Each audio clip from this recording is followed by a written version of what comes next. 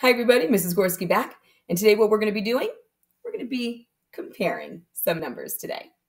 So, as you can see, when we compare numbers in math, we compare them by using some special words.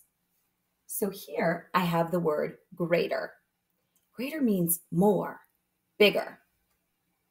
When I look at the word less, I'm thinking about smaller when I think about the word equal, I think exactly the same. But maybe you might be a person that really doesn't know how to compare numbers just by looking at the numbers. So today, I got some pictures to help us out. As you can see, I have one, two watermelon pieces. Then I have one, two, three apples. So I have two versus 3. Still might be stuck?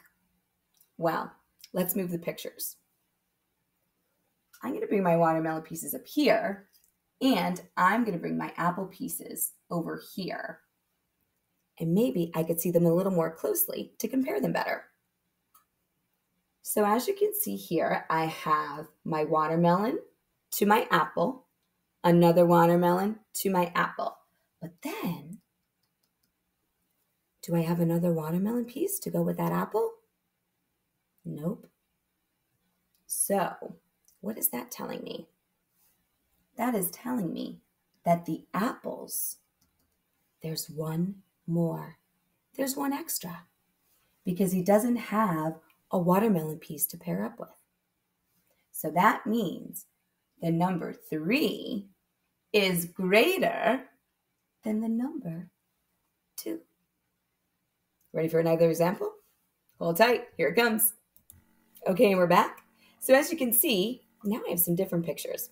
I have one, two, three strawberries, and I have one, two, three, four, five carrots. So now I'm looking at three versus five.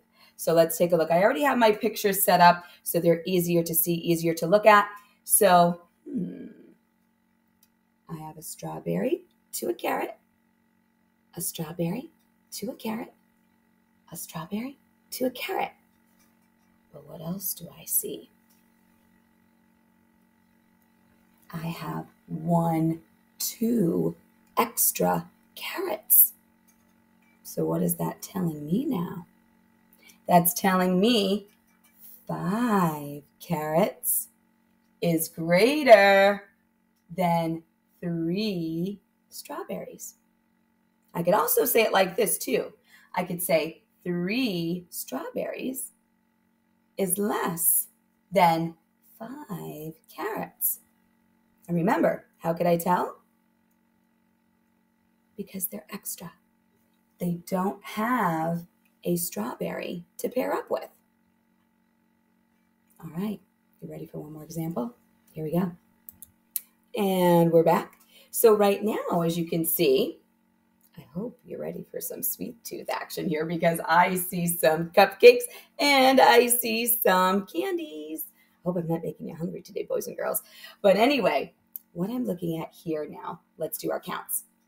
One, two, three, four cupcakes, and one, two, three, four candies.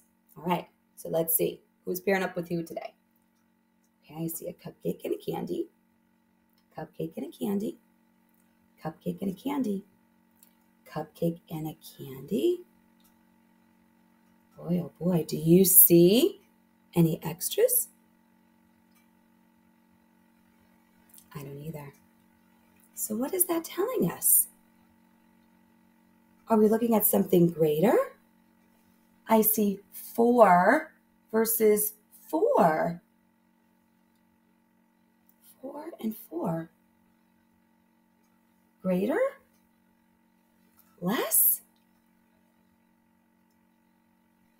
Or are they the same? Are they equal? I don't see any extras, boys and girls. I see everyone pairing up. Everybody has a partner. So therefore, one isn't greater and one isn't less. That means they're absolutely equal. Four is equal to four. Wow. I hope you like our little comparing tutorial today. As I always say, I encourage you to try to practice some of these at home with some things that you might have. And have a great day, and I'll be talking to you all again soon. Bye, everyone.